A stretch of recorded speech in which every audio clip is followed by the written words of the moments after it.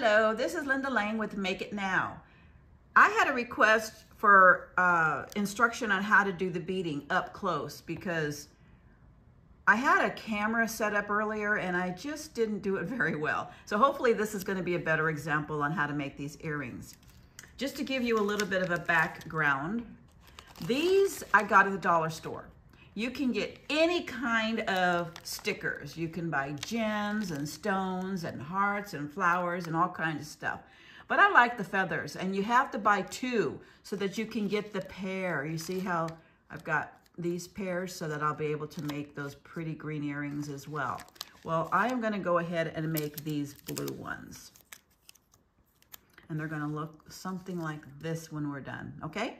So the first thing you wanna do is get some of this heavy duty felt. It's a little stiffer than regular felt. And uh, you can get it in different thicknesses, but I like the medium thickness. You're gonna wanna glue these down onto here and you're gonna use E6000. I don't trust the sticky stuff on the back, so I'm gonna get my E6000. I'll be right back. I just love these little tubes anyway. Okay, so I'm going to glue on the back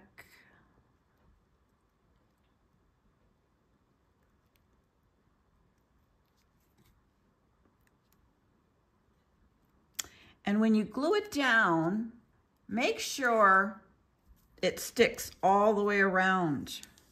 Like I said, I don't trust the glue that comes with it. And I just want to make sure it's all around.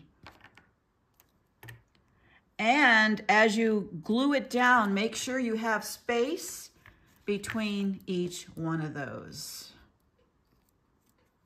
Okay.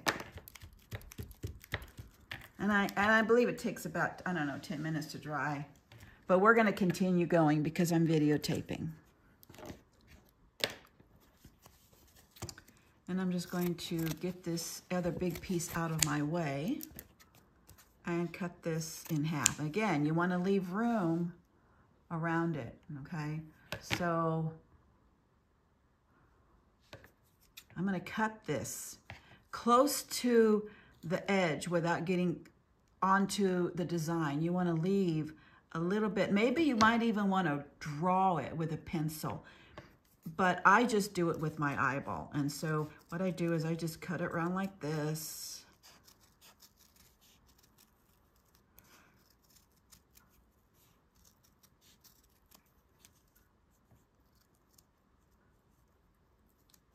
And then I'll do the other one.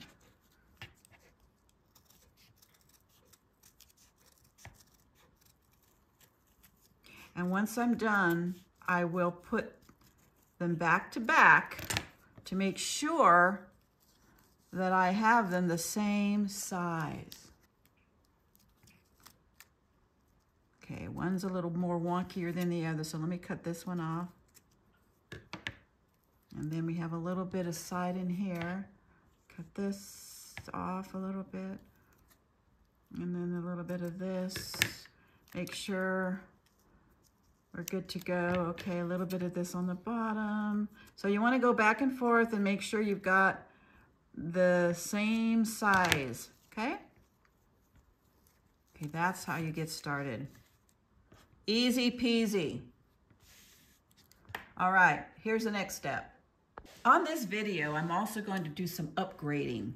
Before I had the backing for the uh, hanging part, glued to the back of the earring. But this time, I'm going to use paper clips. Everybody has paper clips. And so I'm going to use these paper clips. And you want to use the uh, skinniest part for the top. And this will also reinforce your earring. So you want to put that right inside like that.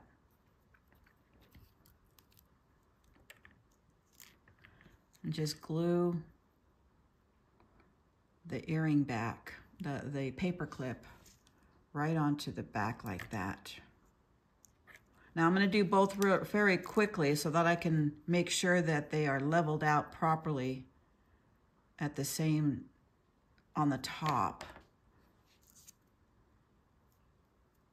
So I want to make sure that they're the same. Okay, this one needs to come down a little bit. Okay, so now we have the paper clip glued to the back. You want to let that dry. This also helps reinforce. Before I used a little piece of cardboard, but since I'm doing it with this technique, you don't need a piece of cardboard. This is the secure part. So you let that dry. Okay, so what I want to do is I want to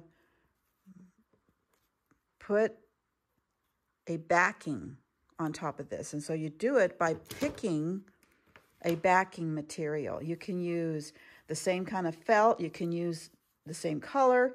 You can get a different color. I'm using a different color because it actually, it really matches that very nicely. I'm just going to put it there, cut around it. Just, just to get this piece out of the way, okay? Let's glue it down first. So make sure the glue just does, doesn't go all the way to the edge because that's where you're going to be doing your beading. You don't want to sew through bead, uh, through glue. And then you just put it down there. This is the part you got to wait for it to dry.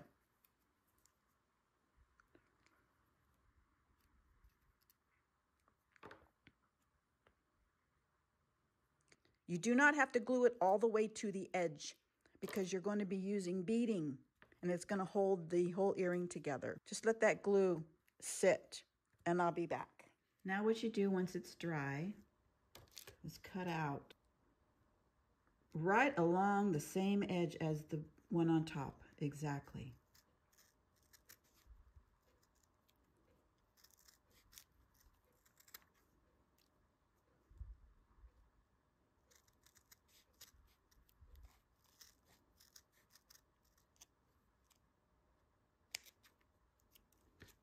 Same with this one.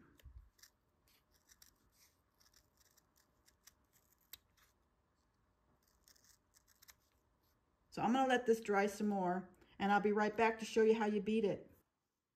Now for the beading. And I already beaded this one. Now I'm going to show you how to bead it. First thing you want to do is get some beading thread that matches your design. You only need like about two and a half feet. I think it takes care of the whole earring. The hardest part is threading it, so give me a minute. Okay, so then what you do is you want to tie the end in a knot. Just kind of loop it and pull it through and then do it again.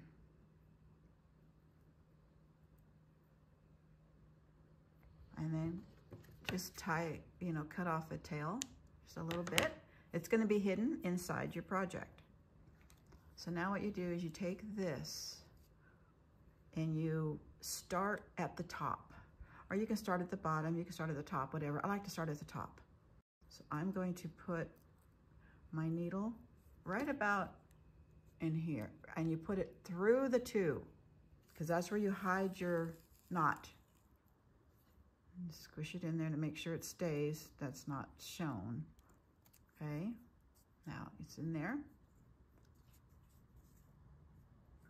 And you take a bead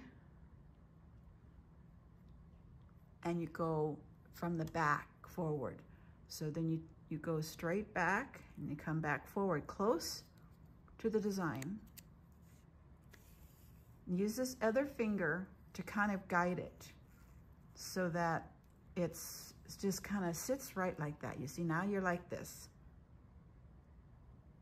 First one. And then you take your thread that's on the top and you go back up through the bead. Make sure that this thread is on this side of the bead as well. This side of the bead. And then you go up. That's your first bead. I don't know if you can see that. Okay, then you take the second bead because your thread is now out of this bead and you go back through the back and go forward using that other finger behind it to hold the bead in place. And then you go back through the bead from the bottom up. Take another bead, go through the back, Make sure you have the back as well because sometimes you miss the back. Make sure you, you've got it in the back. You go to the front. You gotta use that other finger to kind of keep it in place and then go back up the bead. This way the bead lays flat. See how it's flat and this the holes are sticking out. Because if I decide to add dangles, it's easier to use the holes as guides, as my uh, separators. Okay, so you go out with that and then you pick up another bead, go to the back,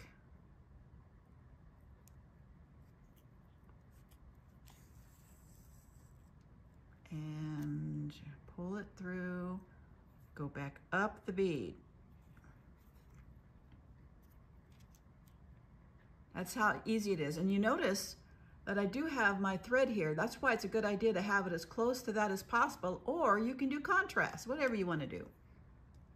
Then you pick up another bead, go to the back and to the front, using this finger to guide, and then you go back up. Go back up the bead. So every time you're done, the thread is coming out of the hole of the bead. Okay, now we're getting to this paper clip. Okay, then pick another bead up. Go into the inside where the paper clip is. Make sure you get the back piece as well. And then I'm going to go back through the paper clip so that I'm behind it, okay? And then I bring my needle back through that bead.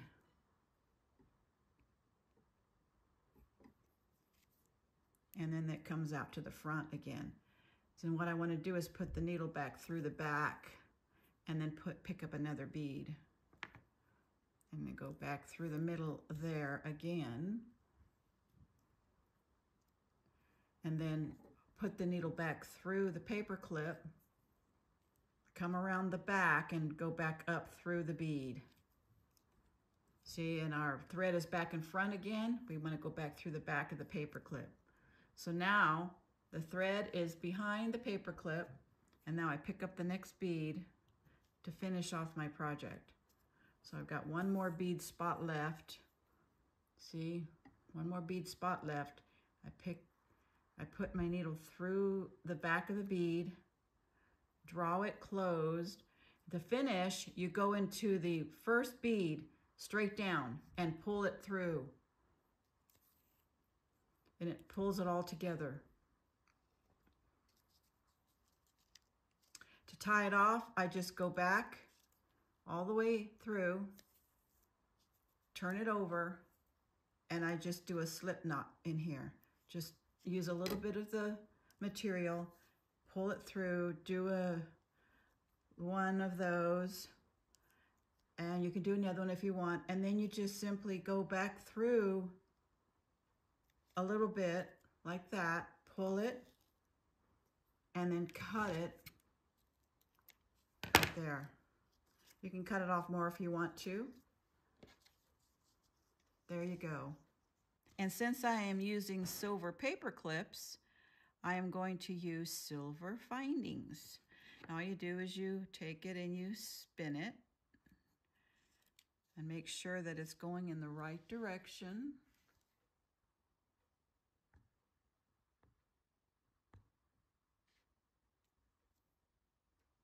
Close it. And there's your earring. Let's do the other one. Just spin it to open. Make sure it's going in the right direction. And then close it.